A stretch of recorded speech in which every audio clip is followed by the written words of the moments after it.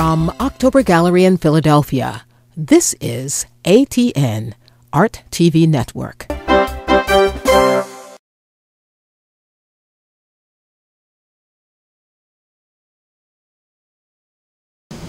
There's a market for niggas that target figures that purchase $100,000 jewelry. And $200,000 automobiles don't fool me. I know pain when I see it. And he would probably give it all away if he hadn't signed his life away just to realize that a million dollars was a small price for him to pay for his dignity. And I suppose if I earned $100,000 a show that had already been spent on security, entourage, groupies, and blow, it wouldn't be so sweet. And I hope dead presidents Talib Kweli realize that it's not that black people don't like positivity, it's something that we often don't have the disposable income to purchase tons of CDs.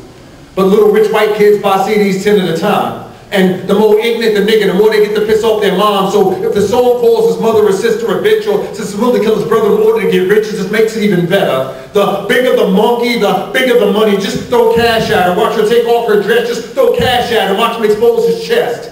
Somewhere, y'all, Right now, there's a prostitute sniffing blow in order to take her mind off how she earns her living. Somewhere, y'all, right now, there's a rapper sniffing blow in order to take his off how he earns his living. But, but there's a market for niggas. And, and spoken word is the shit, but poems don't buy big homes and poems don't light up wrists. And it might be nice to make all y'all jealous of my bank account, but what's more important is that my mother's respect is priceless. And it, it used to be back in the days, you could cover your face with black face and red lipstick, and black people would hate you, would surely get rich. Just take a picture poking out your lips eating watermelon, guarantee your show is selling. But nowadays, if you're effectively rapping about unclapping other black men, say no more, nigga. You platinum. With half a dozen racist billionaires willing to back them. Y'all tell me how that's any different than back then. The more he shows his drawers, the more he gets applause. And if he's willing to play the role of society's savage, then society will make him a star because there's a market for niggas. Just write some bullshit. There's money to be made in convincing black people that Jill Scott does not exist. Because if a young girl knows she's golden, she won't allow herself to be called no bitch.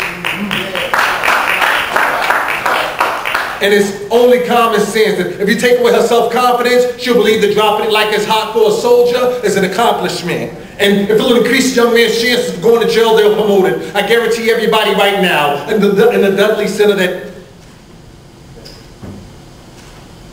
you'll make a million dollars if your poem sounds like Willie Lynch wrote it. Just focus on being a stereotype. Like you wake up every morning just dying to bite just snapping pictures of stacking riches and clapping triggers and smacking pitches. You want to get this started? Fuck your pride, nigga. Just act retarded. You think I'm playing? As long as white folk got money, there's a market for niggas.